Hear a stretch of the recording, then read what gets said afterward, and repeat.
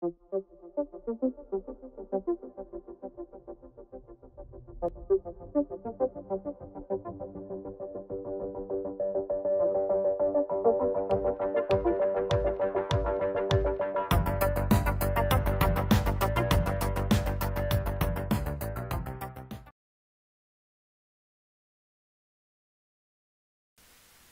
We're now going to take a look at an example problem involving uh, the solution of a manometer. And the problem that we're going to solve is one where we're trying to solve for the pressure at some location with a two-fluid system. And th this is a pretty common uh, problem that you'll find in any textbook on fluid mechanics. So what we're going to do, we're going to walk through the procedure. We're dealing with liquids, hydrostatics, and liquids. So I'll draw out the problem with the schematic of it, and then we'll work it through.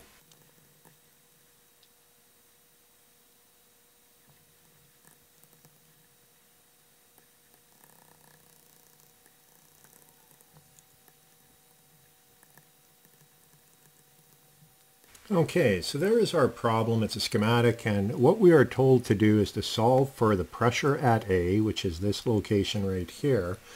And in this problem, we can see that we have two fluids. We have one fluid, uh, fluid number one, with density one, and that's the red fluid. And then we have a second fluid uh, with density rho two, and we can see uh, that we have an interface here and we also have an interface up here.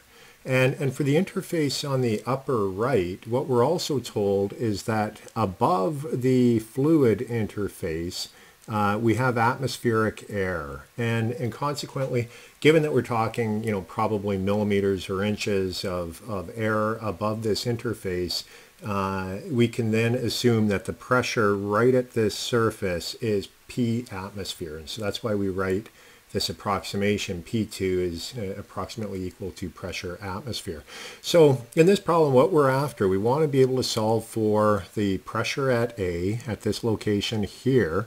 Uh, the things that it appears that we know, well, what we'll do, we'll work out the, the, the, solution and then we'll see what we need to know in order to solve it. So if you recall, we had equations for hydrostatic pressure distribution in fluids, and I'll write out the equations here.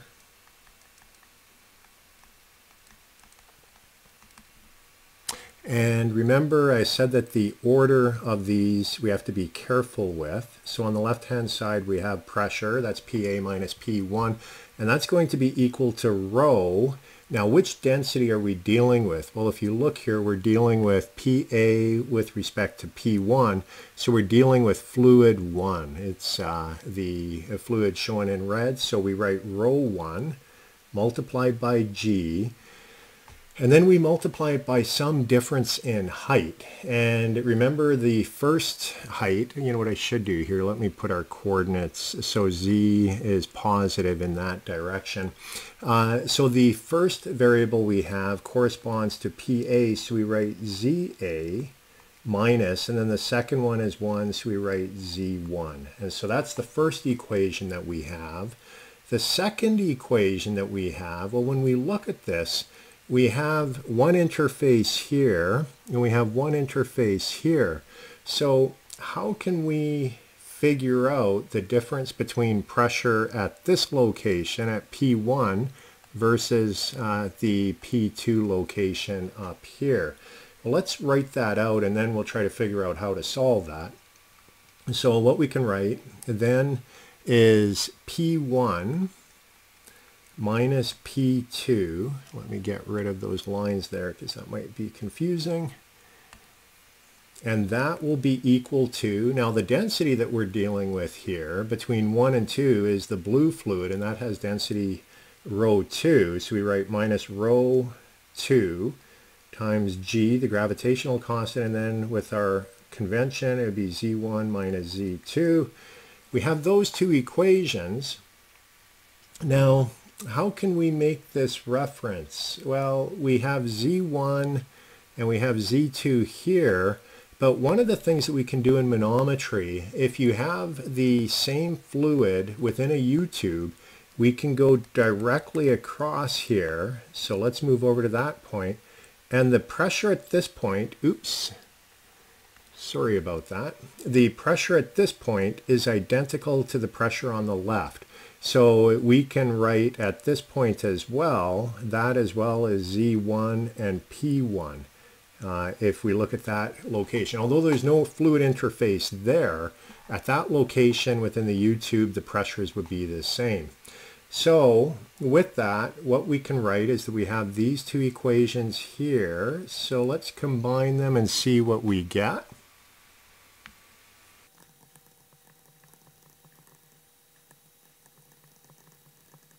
And if you recall, let's look back on our schematic.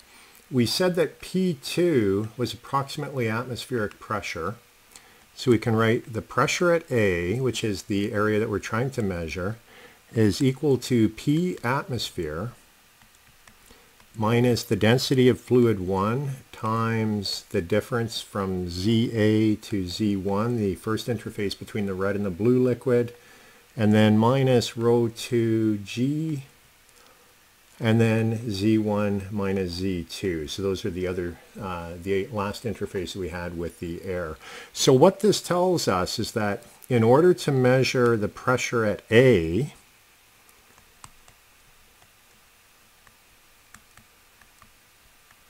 In order to calculate PA, we need to measure the following. We need to know ZA, and that would come out of the convention of by which the manometer is designed. Uh, given the geometry of this manometer, we would know ZA exactly. So that comes from there. And then the other things that we need to measure is interface Z1 and Z2. So let's take a look back. We need to be able to measure this interface here, and we need to be able to measure that interface there. So when we do those, uh, and the last thing we need to know, uh, we need to know the atmospheric pressure. And we also need P atmosphere. So with that, in order to get PA, we need to measure uh, the, the geometry, interface, interface, and pressure atmospheric.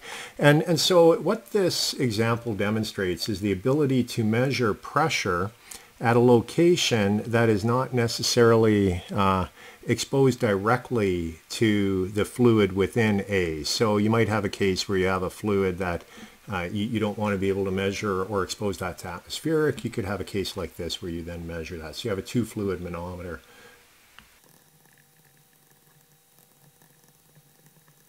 So it allows us to measure PA without being directly exposed to fluid A. That would be one advantage of it. Uh, a couple of rules of thumb that we'll write out.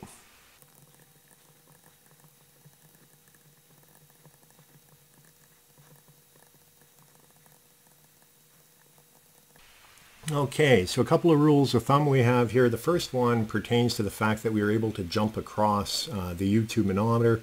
But what it says is any points at the same vertical location in a continuous length of the same liquid are at the same pressures. So if we look back at our schematic, that is what enabled us to do this jump across here. We have a continuous liquid going between those two locations and consequently that was how we were able to do that. Uh, the other one is that pressure increases as one goes down a liquid column. So be careful with the way that you have the order. Remember A corresponds to A there and 1 to 1. If you do that and you assign your coordinate system and be consistent with that, you should not have any problems with solving manometer problems. Uh, so the other thing is that it's just natural. As you go further down, uh, the column, the pressure gets higher and higher. If you've ever uh, gone swimming in a swimming pool or in the ocean or anything like that, as you dive down, the air pressure, or, or sorry, the, the liquid pressure uh, on your ears becomes uh, more and more uh, greater and greater. And, and, and you can feel that exerted on your body. And so we know through intuition that as you go down and down, the liquid column will exert higher and higher pressure. And that is solving problems with manometers.